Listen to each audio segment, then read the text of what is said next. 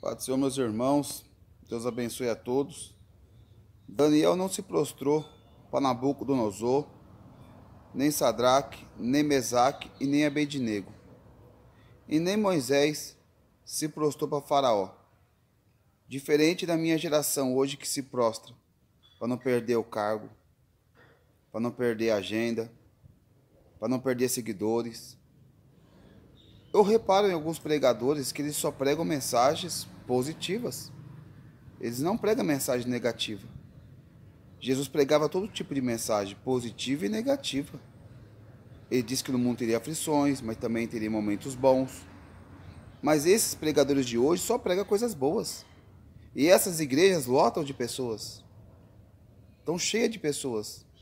Porque falam o que eles gostam. Está lá em Timóteo que essas coisas iam acontecer. Pegue esse vídeo e compartilhe. Amém.